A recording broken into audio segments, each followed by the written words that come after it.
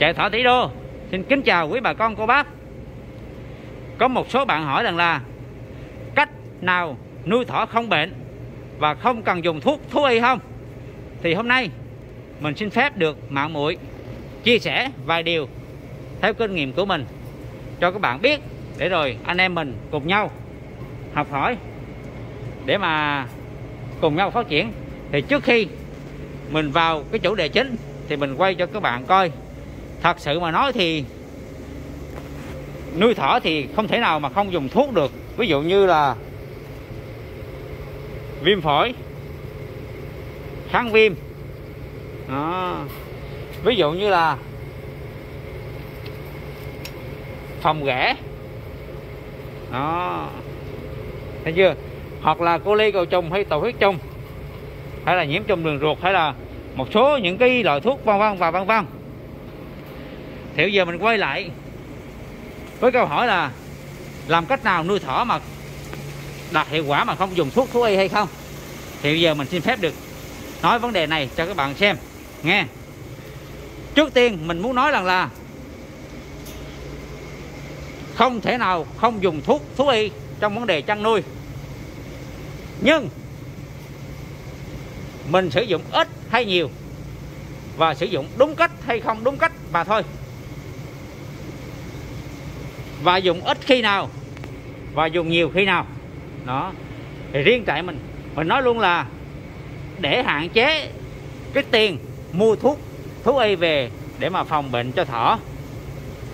Thì thật sự á phòng bệnh cô lê cầu trùng hay tuổi trùng đó thì mình phòng định kỳ thì mình không nói không bao nhiêu tiền thuốc. Nhưng khi mà mình chữa bệnh á, thì nó rất là tốn kém tiền thuốc.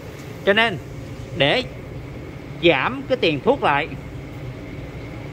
thì các bạn biết làm sao không? Là như thế này? Con thỏ nó quyết định thành công hay không á, là cái môi trường sống của nó là quyết định hầu như là hết 7 80 phần trăm rồi. Để giảm bớt cái chi phí tiền mua thuốc, thì bù lại cái môi trường chăn nuôi của các bạn phải đạt được một cái hiệu quả thật là cao. Và cái môi trường đó là như thế nào? Mình cũng muốn nói chia sẻ luôn. Trước tiên là cái vấn đề về khâu vệ sinh. Thì chắc chắn khâu vệ sinh thì nó phải sạch sẽ. Như các bạn thấy không, nền dây dở thì nó lung tung, nhưng mà thực tế thì nền nó sạch lắm. Rồi à, cái khu hốt phân thì các bạn coi nè. Thì một ngày mình xịt hai lần. Thì thật sự phân của nó rất ít. Phân của nó cũng không có nhiều. Nó cũng rất sạch. Đó là cái môi trường nó sạch. Đó, trước tiên là cái nền nghe. Thứ hai, cái môi trường, cái không khí nó ở sạch là vấn đề mát mẻ. Mát mẻ. Mát mẻ thì như đây là mình làm cái dàn lạnh để để đưa cái không khí mát vô. Thì nó sẽ chảy nước nè, các bạn thấy không? Chạy nước nè. Thì ở dưới kia là sẽ có cái bạc hút. Thì nó hút cái hơi mát vô. Thì cái môi trường nó rất là thông thoáng.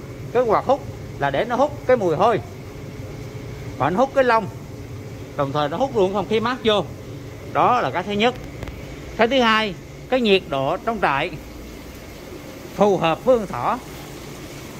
Để cho con thỏ nó thích hợp và nó sinh sản và phát triển tốt, thì nó mới không thể nào bệnh được. Đây, khi mà cái nhiệt độ trong trại các bạn,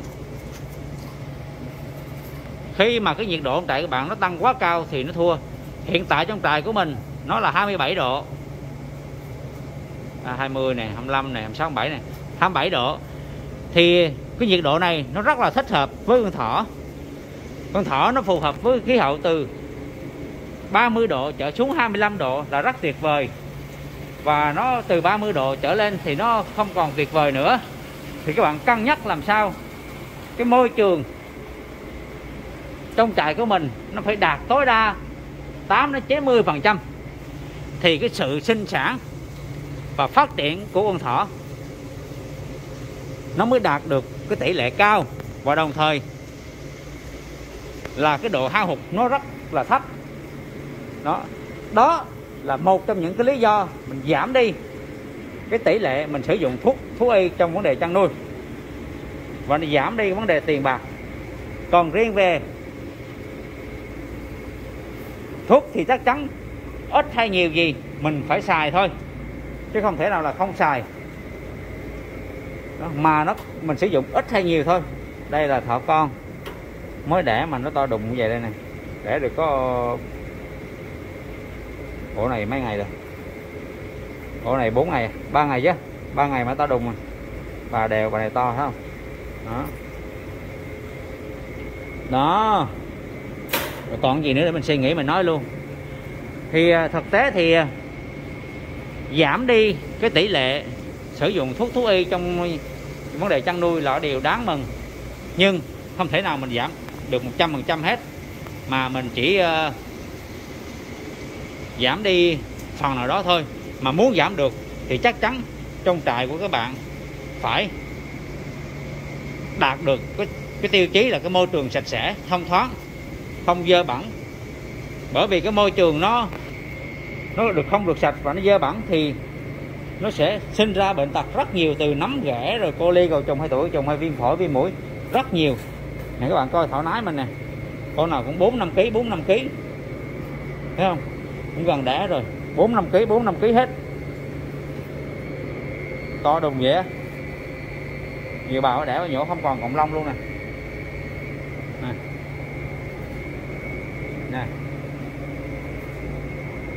bò này chứ phải là năm kg mấy rồi. Thấy chưa? Đây. Kia đó. Thì cái câu hỏi của các bạn là không dùng thuốc thì thực tế thì nó cũng không đúng, mà mình sẽ cố gắng làm sao cho nó giảm bớt đi cái tỷ lệ dùng thuốc của mình, để nó giảm bớt cái chi phí và cái công cán của mình khi mình chăn nuôi thỏ nha bà con. Thì đây là một trong những cái lý do mà mình làm để mình chia sẻ cho bà con. Mong là anh em chúng ta giúp đỡ nhau, cùng nhau phát triển. Cũng như là để một ngày nào đó cái con thỏ nó sẽ đạt được cái kinh tế cao trong gia đình của mọi người chăn nuôi. Rồi, cái ờ, video hôm nay là nội dung của mình hôm nay là cũng kết thúc tại đây. Thì mình cũng xin phép được chào ờ, tất cả mọi người và xin chúc mọi người thật là nhiều dồi dào sức khỏe nha.